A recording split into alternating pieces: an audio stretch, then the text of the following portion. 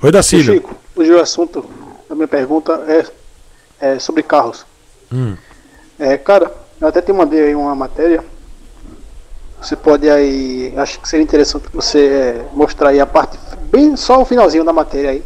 Sim. Que tem a lista de itens obrigatórios para os carros fabricados a partir de 2024. Nós tivemos a mudança em 2014 com airbag e ABS não obrigatórios. E agora em 2024 terão novos itens. O, acho que o que vai encarecer mais é o controle de estabilidade.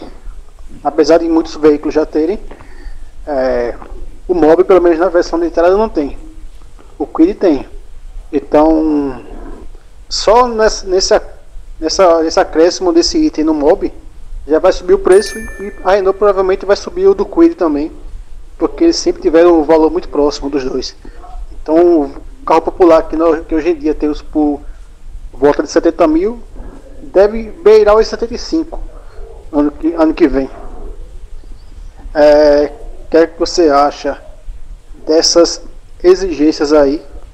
A maioria voltada para segurança, mas que acaba encarecendo o valor o, os valores dos veículos e acaba que o brasileiro que quer ter o veículo popular mesmo, aquele tipo Fiat Uno pé de boi que não tinha nem ar-condicionado, direção mecânica, tudo, aí não pode ter mais, né? O que é que você acha? Você é liberal, mas ao mesmo tempo você defende muito a questão da segurança. Então, Isso. qual é esse, o seu posicionamento sobre esse assunto? Um abraço, Chico. Um beijo, Dacílio. Você sempre fazendo as perguntas certas, né? Pra me deixar queimando fosfato aqui pra responder. É muito bom, cara. Bom, eu, eu tava até ouvindo. Eu assisti um vídeo do Peter, do Peter Tugunian, do Ancapsu. Eu gosto muito do Peter. Não concordo com tudo que ele diz, mas eu gosto muito dele. Ele é um cara necessário, muito necessário pro nosso pro debate, né? Mas eu sou um liberal, sim, mas eu entendo que a segurança vem muito acima de qualquer pensamento liberal. Porque eu entendo a indústria, cara, e o capitalismo, ele chega a um ponto do absurdo. Se a gente não colocar regras básicas, não estou falando regras absurdas, mas se não tiver regra no jogo, o jogo vira uma bagunça. Então todo jogo tem regra, cara.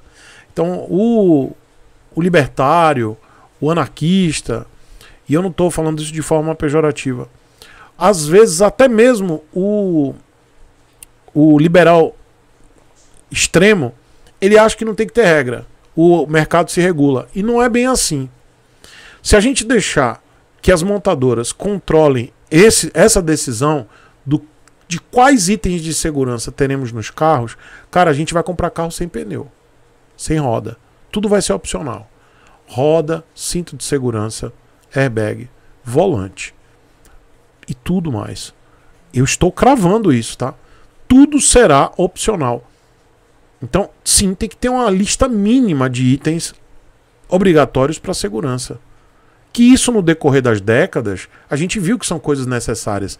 Encosto de cabeça, cin- cinto de segurança de três pontos, é, airbag, tudo isso salva vidas. Eu tenho certeza que alguém aí já teve alguma algum sinistro que precisou usar um airbag ou algum familiar que precisou usar um airbag. Então, eu não vejo isso como desnecessário. Agora, o Quid, por exemplo, ele tem um item que é controle de estabilização. Eu não vejo necessidade do controle de estabilização. É bom, mas eu não acho necessário. E sim um opcional. Eu entendo. Aí já vem meu lado liberal. Tá? Existem itens que sim são itens, por exemplo, ADAS, que é aquele sistema de câmeras que enxergam o veículo na frente e fazem a frenagem automática. Eu não vejo necessidade do ADAS. Sabe? Outros itens como todo e qualquer item de segurança, como barras de proteção nas, nas laterais, eu, é, airbag de cortina, eu acho importante. Porque é segurança, cara. É segurança. Quando a gente fala de segurança e real, eu acho que é importante. Mas, por exemplo, ADAS é segurança? É. Mas se o cara estiver andando devagar, ele não, não vai bater no carro. Entendeu?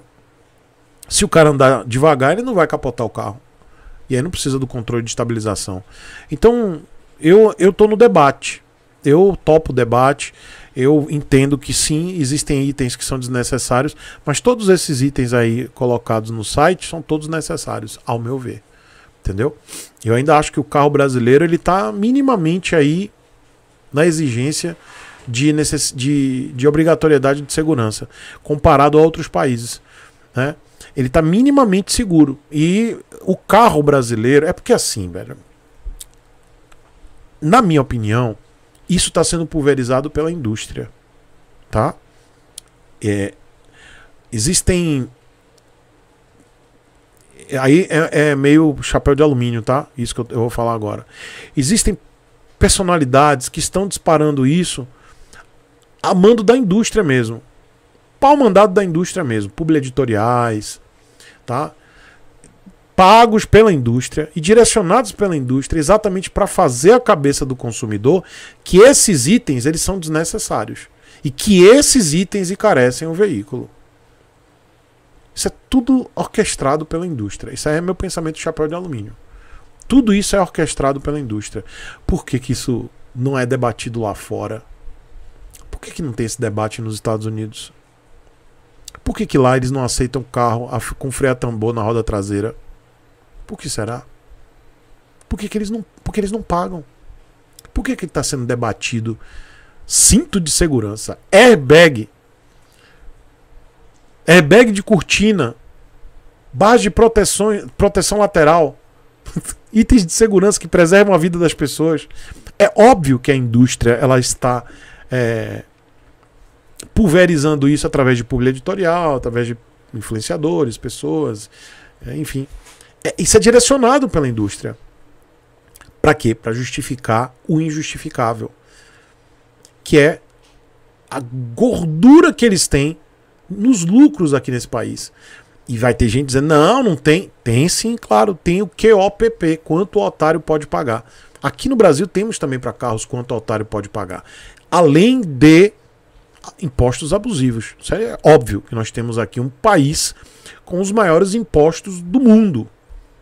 Nosso país tem burocracia, tem imposto e tem a ganância das montadoras que aplicam o índice que é o OPP, quanto o otário pode pagar. Então, isso, esse item, essa questão de diminuir itens de segurança, eles não são debatidos lá fora. Só está só tá sendo pulverizado isso aqui no Brasil. Porque exatamente nós somos um país de idiotas que aceita esse tipo de argumento que é criado gerado e pulverizado pela indústria. Então, eu tô pro debate, beleza, mas todos os itens que foram apresentados aí, eu não tiraria nenhum. Entendeu? Mas é, tá muito claro para mim que a indústria ela tá querendo de toda forma mas, mas batalhando ao máximo para deixar o carro mais pelado possível para voltar, dizer vamos voltar ao carro popular.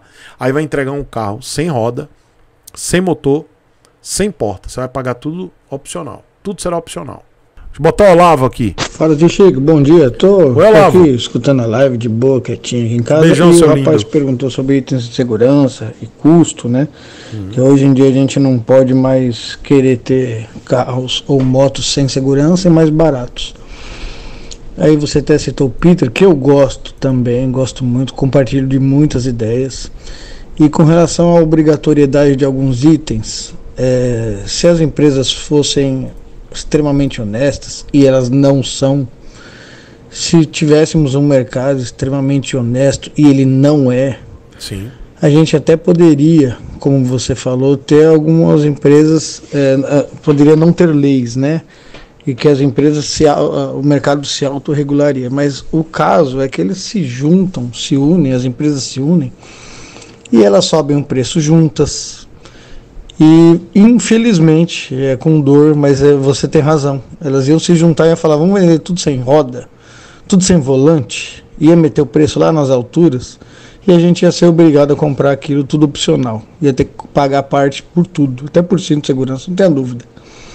É com dor que eu falo isso, porque eu sou um defensor, como você, do ABS na moto. Para mim é obrigatoriedade, pelo menos na roda da frente.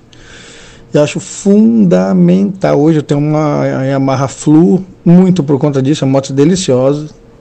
Tem defeitos? Tem, claro, toda moto tem. Mas o ABS para mim é um fator determinante, porque eu tenho uma família, eu tenho uma filha e eu não quero morrer. E ABS salva vidas. Mas eu também sempre tive a ideia de que podia ter motos igual a Flu, só que sem ABS para quem não tem grana. Né? Uma moto mais simples. Na Rússia, por exemplo, aquele aquele aquele Jeep, agora não vou lembrar o nome de Lada. cabeça, mas ele é vendido até hoje sem nada, sem é direção hidráulica, sem ABS, sem ar condicionado, mais simples para poder ser algumas pessoas têm acesso a carro. É, infelizmente. Um abraço, com Deus aí, cara. Esse é um assunto delicado, cara. É difícil ter compreensão de todos os fatos. Exatamente. De ter uma verdade absoluta. É um assunto delicado, um assunto difícil de solucionar. A gente quer ter segurança, mas também quer ter a opção de quem não tem tanta grana que precisa de uma moto, de um carro barato. Olavo, é, obrigado pela sua sensatez em comentar sobre a questão das montadoras, e é isso mesmo.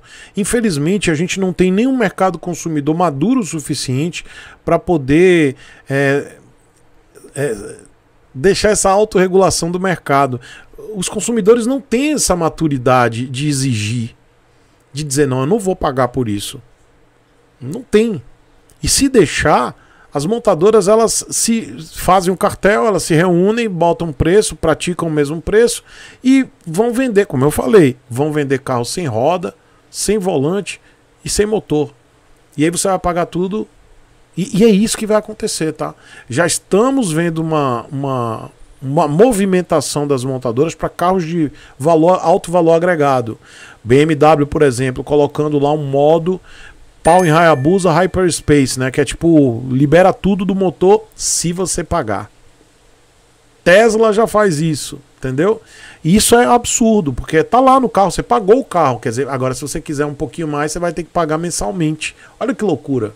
Imagina se a gente fizer isso, se, se isso existir aqui no Brasil, você, ó, você vai ter que botar roda, você vai querer quatro rodas ou três? Você vai querer um motor? Não, ou, ou, ou, a gente entrega o carro sem motor e daqui a um ano você bota o motor. É mais ou menos isso. Então é loucura, cara. A gente não tem maturidade ainda para poder. É, para essas coisas. O brasileiro ele aceita absolutamente tudo. É o índice que é o PP sendo praticado diariamente no mercado há décadas.